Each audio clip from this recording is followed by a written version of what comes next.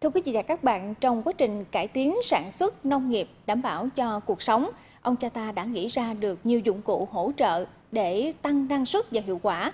Hàng ngàn loại dụng cụ, phương tiện sản xuất được nhiều thế hệ sáng tạo, sử dụng và lưu truyền, à, đồng hành cùng sự phát triển của nền văn minh lúa nước.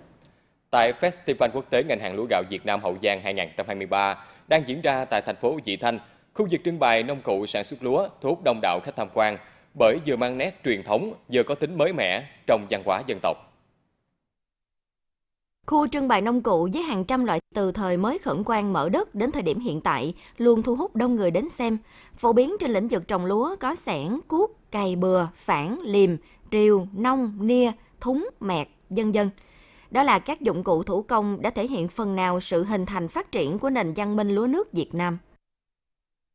Ông cha mình hồi xưa để lợi thì hồi đó mình cày nè, mình làm cây lúa là mình mình nông dân là mình làm là tự bằng tay mình làm chứ không phải là làm à, bằng bây giờ máy móc.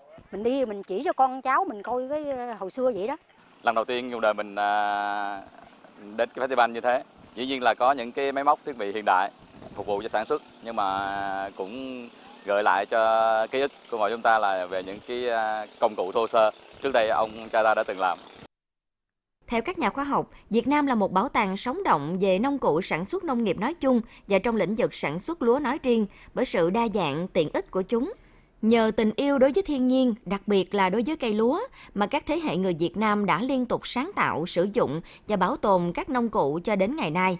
Đó cũng chính là di sản quý giá minh chứng cho tài năng, trí tuệ, sự sáng tạo của ông cha chúng ta, nhắc nhở mỗi người con đất Việt phải luôn nhớ tới quê hương cội nguồn của dân tộc.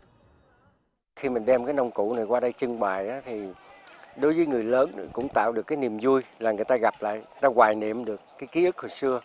Nhưng mà đối với giới trẻ đó, thì giới trẻ sẽ hiểu biết hơn về ông bà mình hồi đó là trồng lúa như thế nào, nội vất vả như thế nào. Vì đó chỉ có sức người với sức trâu thôi. Đó, thành ra mà giới trẻ hiểu được ông bà mình sống như thế nào thì đó là một cái điều rất là tốt.